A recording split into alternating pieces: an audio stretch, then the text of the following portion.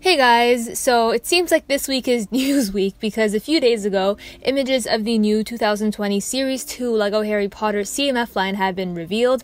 However, they were leaked, so I couldn't really cover them on my channel. Now that it's finally safe to cover them, as Brickset has revealed them on their website, it's about time that I posted a video on them on my channel.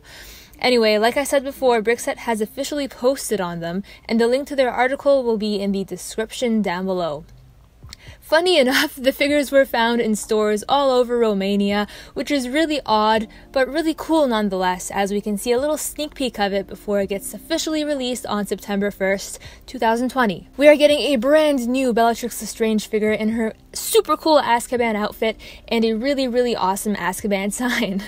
We're going to start off from the first figure up until the 16th. So we have Harry Potter with his Advanced Potions book, Dumbledore with Fawkes, Hermione Ron, Luna with her super cute and adorable lion hat. I love it so much. We also have the Goblin, which goes by the name Griphook, with the sword of Gryffindor, which looks super cool. And then we have Lily Potter with baby Potter, I guess. And then we have James Potter with a family portrait. Ginny Weasley with some ice cream. We have Fred with a cute little winter hat and winter coat.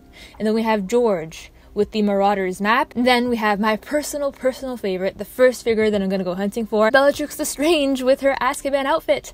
Yay! And then we have Kingsley Shacklebolt and he looks really unique and cool. Really happy that LEGO finally made him in LEGO form.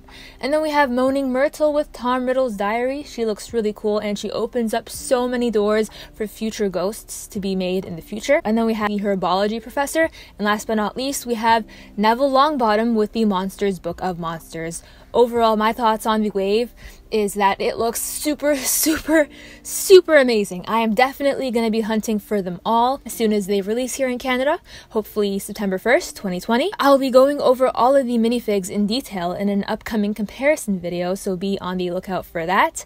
And the first figure that I'll be feeling for is Bellatrix Lestrange, like I said before.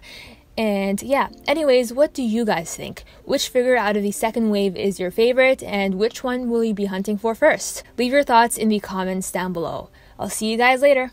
Bye for now.